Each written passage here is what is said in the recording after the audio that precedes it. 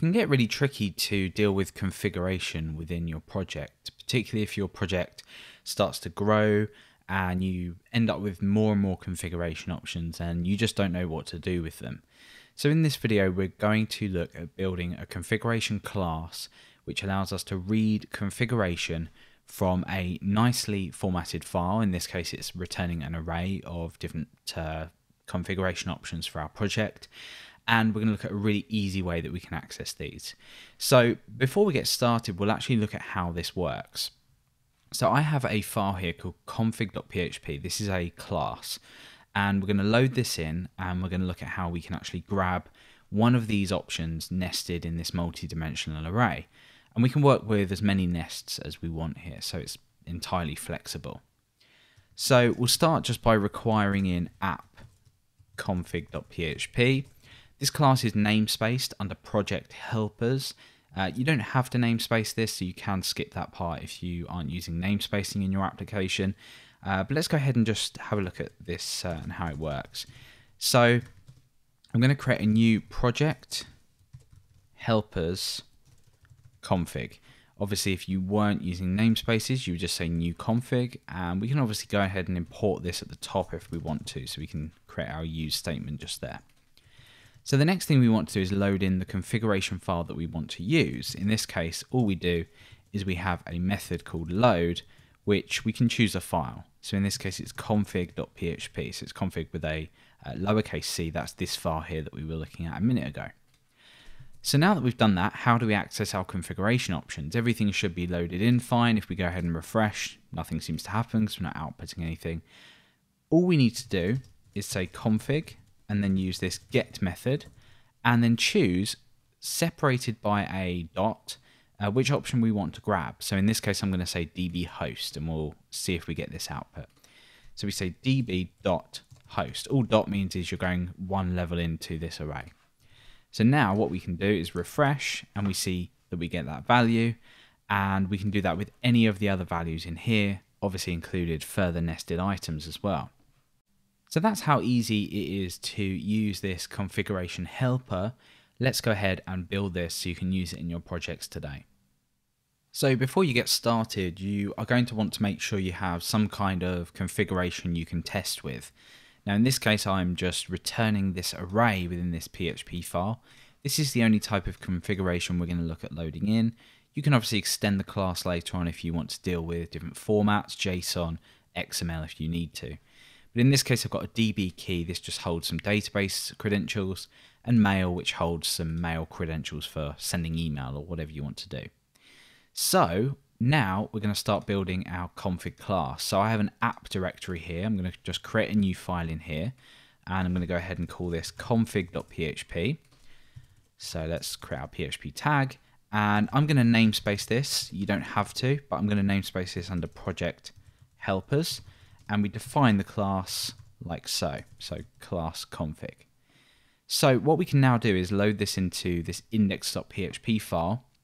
We can instantiate it and then as we add the methods to load in our configuration and get different keys, we can test that out as we go. So we want to require in app config.php, and then we want to create a config variable that's going to hold a new project helpers config. Obviously, if you're not namespacing this, you'd just say new config.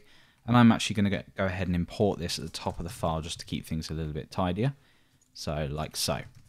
So now that we've done that, go ahead and refresh the page. We shouldn't see any errors. We can go ahead and start building the rest of this, uh, this class. So the first thing we want to deal with is loading in a configuration file, which is this file here. So let's create a method to do that. So we're going to call this load, and this is going to take the name of the file. So inside of here then, we're going to uh, say file, and we're going to assign requiring in that file to that file variable. So if we do a var dump on file, and inside of index.php we say config load config.php, that's obviously going to take this config here, require it in, and then we'll just do a var dump on it, and we can see what we get. So you see here we've got an array of two items, DB and mail, and then inside of here we have an array of more items. So that's our uh, configuration. Now we need to put this somewhere so we can go ahead and either just keep this local variable here and then say this data equals file. You might want to do something in the middle, uh, depending on how you're loading in files. Uh, so in this case, what we can actually do is get rid of that, pop that in there, like so. So this data is obviously a property at the top of our class. So I'm going to say protected, protected data. And uh, that's gone ahead and loaded that in. We can use that within other methods now. And if you're having any problems with this, you can just change the visibility of this property. And you can go ahead and do a var dump on config data. And when you refresh, you'll see that array. So let's get rid of that. Let's change this back to protected because we don't really need it to be visible outside of the class. And we can go ahead and look at actually getting the options now, which is really important. So we have this method called get. And this is going to take in a key and a default value we're going to assign within here if that can't be found. And this is really useful because we want to say uh, eventually config get and we want to say something like db.host. What we can do is pass in here a second option uh, of what's returned if that can't be found. And that's really important because you might need to change this at some point. So in my case, I can just say an empty string, or I could say null, which is the default anyway. So inside of here then, what I'm going to do is I'm going to assign default to a property within this class. So we can say protected default. That's just in case we need to uh, use this anywhere else, which we will be doing in another method in just a moment. And now what we want to do is start to break up our data that we've stored up here so we can actually access it by this dot notation. So remember we're saying db.host. So what we want to do is break this up into segments. And we do this by exploding that data value by a dot. Uh, sorry, that key value by a dot.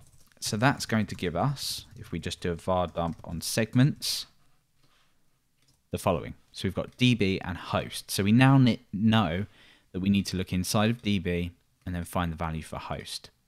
So now what we need to do is we're going to pull in the data from our property at the top and we're going to assign that to a local variable. So we can say this data. So data here now obviously has uh, whichever value, uh, whichever array has been stored in data. And then we want to loop through each of the segments. So we create a for each loop here and we're going to say for each segments as segment. So for the first loop, this will be DB. For the second loop, it will be host. Inside of here, we need to check if it, if it's set inside of our data, which we've stored here. So is DB set and then is host set. So we're doing this sort of uh, in a loop and we're looping through. So we're going to say is set data. Uh, this isn't a string, this is segment. So this will be is set data db on the first run. Now if it is set, we're going to set data, or we're going to assign the value uh, to data, that segment. So what this will do then is if db is set, it will set this data uh, variable here to this array. Then in the second loop, when we look for host in the second loop, because this array is now data, it will look for host and then it will find the value. So if you're not too sure about this, have a little play around and maybe do some var dumps under here just to see what, what you're getting out. Now, if that configuration option isn't found, so for example, if we said db uh, dot encoding, we wouldn't be able to find it here. It doesn't exist in here. So we could say else, and then what we want to do is set data to the return, the default return value, which remember is here, but we've also stored in this data. So we're going to say data equals this default. And if that's not found, we don't want to loop for the rest of the segments. So we want to go ahead and we want to break that loop. So after the loop, we can go ahead and return the newly built up data. So let's just run over this once more very, very quickly, just if it's a little bit confusing. So the first loop of this, in my case, where I'm saying db.host, the first loop segment is going to be db. So it's going to check if data db is set, which it is. So it's going to assign data the result of data segment, which will end up setting it to this array here. In the second loop, it's then going to say is data host set, because remember segment is in the second loop, and then it's going to set data to data segment, which is data host. Because this is a string value, it means that all we're doing is setting data to 1. Uh, 127.0.0.1 and then following on we just return that data and that's it. So let's just check uh, how this looks. So I'm going to go ahead and echo this out. I'm going to go ahead and refresh and you can see that we get that value. It really is as easy as that. We can go ahead and test this out with more uh, loops. So I'm going to say host and then I'm going to inside of a new array say primary. And let's just say one. And we'll have maybe secondary. And we'll just set that to 2 we can now say db.hosts.primary we're looping three times now. And we get the result we expect. And we can do the same for secondary like so and we can obviously do the same for the mail part of this as well mail and host now if it can't be found so for example db.host now doesn't exist we have this hosts key instead uh, we'll see if we refresh, we get nothing. Uh, we're actually getting a, a, null returned on this. So if we do a var dump, we can see that uh, clearly, like so, null. And we can obviously change the default return value. So if I wanted it to be an empty string, I could be, like that, string, length of zero. So there we go. So you've got full uh, flexibility over pulling in your options and then defining a default return value as well. We could just stop here, but we're going to implement a final method, uh, which is going to allow us to check if a key actually exists. There's not many situations where you want to do that, but it's good just to have it in place anyway. So what we want to do then is down here define a exists method, and inside of here we want to be able to pass in a key to check whether it exists. Now this is the reason we set default to a property at the top here, what we can actually do is set this to a default as well, which will obviously be overridden uh, when we go ahead and get any value if we change that or keep it at null. So this will stay at null if we don't, and it'll change if we do. And in here, we can just go ahead and use the get um, method inside of this class to check if it exists. So all we want to do is return this get, passing in that key, and we want to check that it doesn't equal the default value that we've set. So if, for example, we set the default of null or just leave it as it is, and we say go ahead and check that db.host exists, it doesn't, so therefore it's going to equal null because that's our default value. We get a false value returned. And if we do something like db.host.primary, we go ahead and get true. We know that exists. So we have built ourselves a configuration class that we can easily use within our project to pull in configuration options that look like this. And uh, I hope you'll agree it looks a lot tidier.